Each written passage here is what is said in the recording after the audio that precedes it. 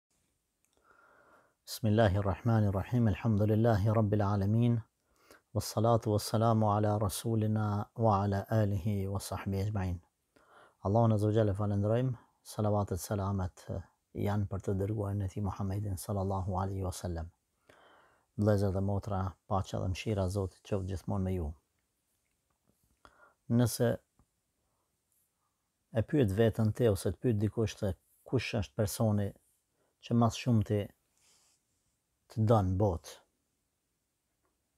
Atëherë pa ngurru fare, thuj ai person është nana ime. Mas nanës, lirisht thuj baba.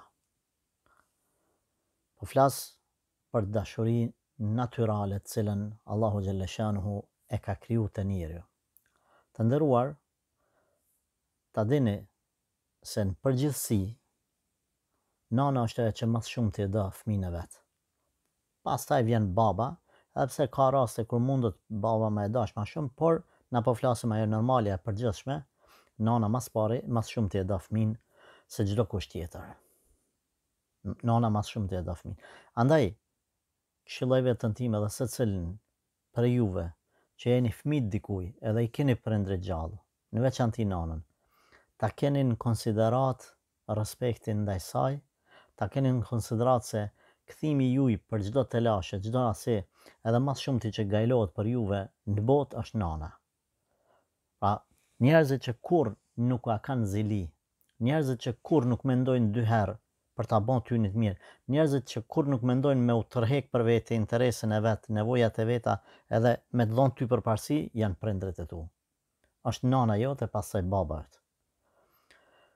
Nëse je në problemet ma të mdhaja në botë, i pari i cili ka me ndërmarrë veprim që nëse mundet me t'i largu ato probleme ato telashe ato smundje me dhon çdo sen prej vetes vet pa mendu dy herë bile pa mendu asnjëherë hiç menjëherë është nana jote ta marrim një shembull nëse dikush ka probleme me një pjesë trupit edhe duhet me ndrru atë pjesë me ta fal dikush një pjesë trupit çka do të qoftë ajo mushkri veshkë zemër nëse është në pyetje edhe koka po them kështu në mënyrë domethënë pa pe imagjinoj se dikujt nëse do t'i ipej diçka nga trupi qoftë edhe koka nona pa thon ha pa mendu asnjëherë kish me ja dhon evladit vet çdo pjesë trupit do thonë nuk kish nevojë me shku te shpia me mendu të mendoj pak jo jo jo menjëherë çdo send është e lirë nona çdo send veten që ka është e lirë kur në pyetje evladi e jep çdo gjë për ta mbrojt gjën më të shtrenjtë evladin e vet. Persona të cilët ty nuk ta kanë kurrë zili, persona të cilët kurrë nuk e rahatojnë veten pa të rahatu ty, persona që japin çdo sen nga vetja e vet për me të rahatu ty, është në gjendje me e dhon më të vështirën, të vetën, më të dhimbshmen vetëm ty me të rahatu. Prandaj kemi frikën e Allahut azza wa jall karshi prindërve tanë në mënyrë të veçantë karshi nanës. Mos mendoni se dikush të don në botë shoku yt, bashkëshortja jote, evladi yt, ma shumë se që të don nana edhe baba. Nuk është qëllimi me ul vlerën e evladit vlerën e bashkëshortes, vlerën e shokut, vlerën e mikut, vlerën e vëllaut musliman, të askujt. Secili e ka pozitën që Allahu ia ka dhanë. Mirëpo, evladi, nëse do të ishte në pyetje me dhanë diçka për prindin, ndoshta në disa momente, në disa çaste, evladi nalet dhe mendon Si t'ia bëj? Për babën ose për nanën? A nana dhe baba nuk mendojnë për evladin hiç, domethanë, menjëherë marrin vendim po unë do ta jap më të rëndësishmen timen për evlad. Pra e jep çdo send nana dhe baba për për ty. Personat që më shumë t'i gëzohen që edhe nuk të kanë zili, dojnë që ti me mrri shumë fish me u bo ma i mirë se ata. Ashtë baba dhe nana. Për ato kur i thu babës ishalla bahet evladi ma i mirë se ti ai gëzohet. Ose i thu babës dikuj djali yt është ba më i mirë se ti. Ai gëzohet, nuk e ka zili. Kurse po t'i thush shoku yt është ba më i mirë se ti. Ai nuk ndoshta mundet me i ardh zili. Me i ardh pak si inat. Me u vu pak si në siklet. Prandaj Personat e vetëm që e kanë këtë konsideratë karshi evlatëve të nderum janë prindërit tanë. Nuk po du me hy fetarisht, çfarë pozite kanë, çfarë shpërblimi, vetëm thjesht nga praktika e secillit prind në origjinë natyrshmëria e prindit është kështu, Pastaj ka prind audhubillah që s'do me ni për evladin, ka prind i cili do me prish evladin, ka prind i cili do me myt evladin, ka prind i cili do me shit evladin audhubillah. Na nuk po hyjmë te ata të cilët kanë dalë nga binarët e natyrshmërisë në të cilën Allahu i ka kriju prindërit. Na po flasim për prindër të cilët janë mrena ato asaj natyrës të cilën i ka kriju Zoti qashtu duhet me qenë prindi.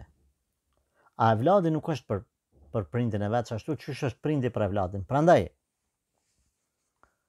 Ti, që je i martum edhe ke ba fëmijë, edhe tash tu ka ba djali ose qika pesë vjeç ose dhjetë vjeç edhe ti thu lumi unë, tash unë kam evlad edhe e e len anash babën edhe nanën, tu u kthy tu shiku ka evladi, tu ja plotësu fmis edhe kushtet më elementare më të thjeshta kurse e kushtet më të nevojshme gjërat më të nevojshme babës e nanës s'ja len mangu e evladit s'ja len e ke kthy krejt shikimin përkushtimin edhe përgjegjësinë ka evladi e ke harru prindërit kjo nuk është në rregull kjo nuk është në rregull t'i blesh djalit tesha t'i blesh qikës tesha gjana tjera e të mos i blesh kurrë prindit as edhe një pije nga më e thjeshta më e vogla pesëdhjetë cent një euro aq ka kemi vërejtje edhe ndaj atyre evlad të cilët i janë nda prej prindërve Edhe i kan harru babën edhe nanën.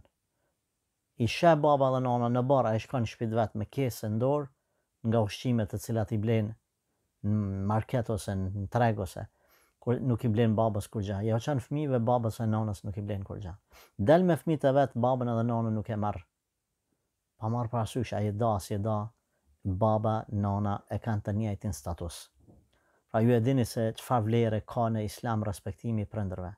Mas adhurimit t'Allahut, respektimit të Pejgamberit sallallahu alejhi ve sellem dhe mësimeve të tija, sunetit të tij, vjen respektimi i babës edhe i nënës. Domethënë, nëna tri herë, baba një herë e dini atë hadithin e Pejgamberit sallallahu alejhi ve sellem.